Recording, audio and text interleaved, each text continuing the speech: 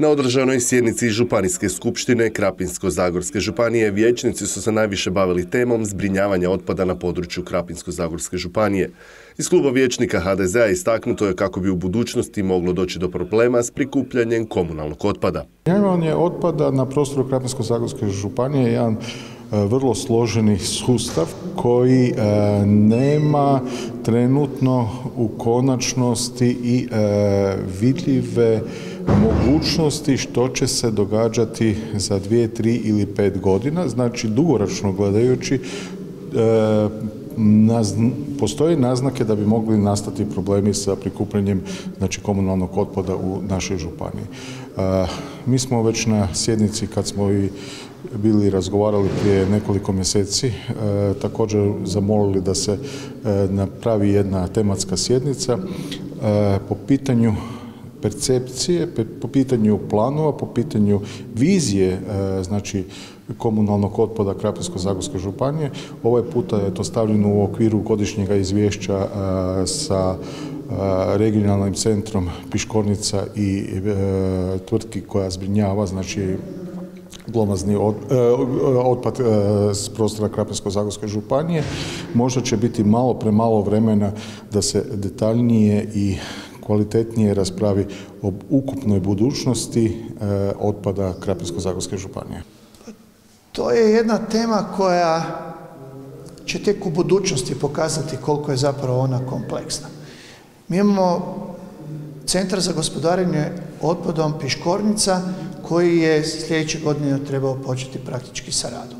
Jasno je svima da on neće početi zbog izuzetno komplicirane dokumentacije koja je pripremljena, gdje je Jaspers pročešljao kompletnu dokumentaciju uzduši po prijeko i u onom trenutku kad smo dobili e, zeleno svjetlo za raspisivanje natječaja, dobili smo ponude koje su duplo skoro skuplje od procijenjene vrijednosti.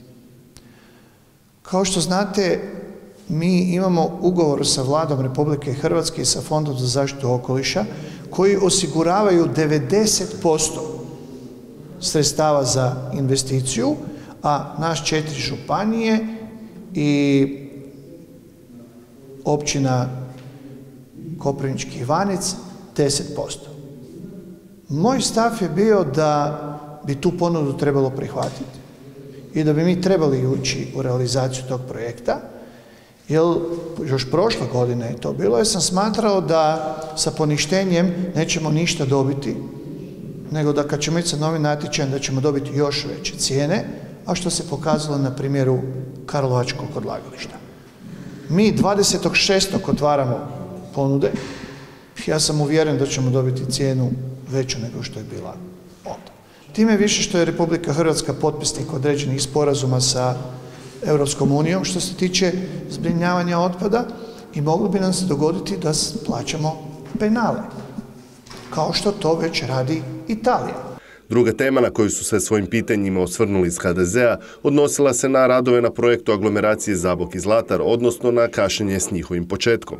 Hrvatska demokratska zajednica, tako i klub vječnika Hrvatske demokratske zajednice u Krapinsko-zagorskoj županiji je smatrao da dinamika izvođenja radova polako dolazi u jedno upitno, upitan stadij, jer prema potpisanim ugovorima, prema znači onome što se obvezala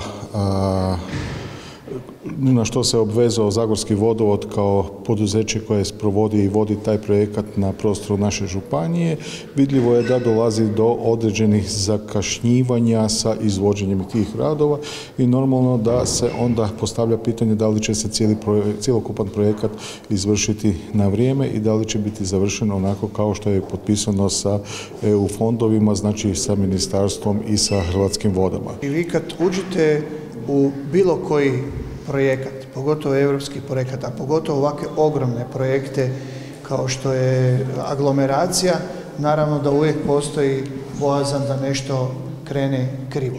Zbog toga sam i rekao danas na samoj, na samoj sjednici da bez obzira što mi nismo suvlasnici i osnivači Zagorskog vodovoda, ali smo i tekako zainteresirani da taj projekat završi od početka do, do kraja upravo onako kako je i planiran.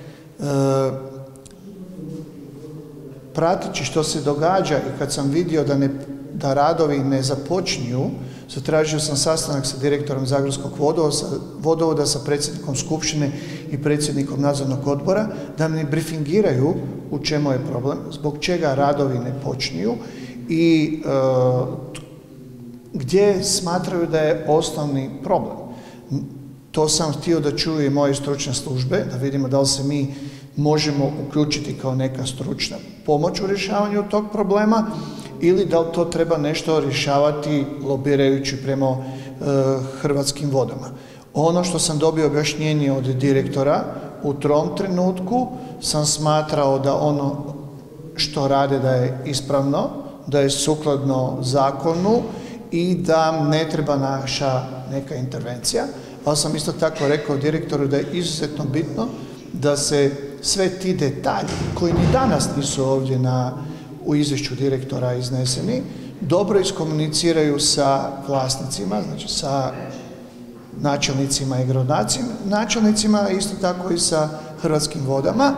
Na samoj sjednici se raspravljalo i o sigurnosti u Županiji, a prema izvješću načelnika Josipa Bukvića, sigurnost u gotovo svim segmentima na području Zagorja daleko je bolja nego u ostalim županijama.